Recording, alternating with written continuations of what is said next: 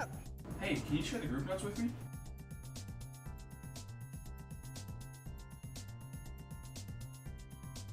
Here we go. Also, can you send me the documents uh, and add the word "smoky" on the graphic, please? Yeah.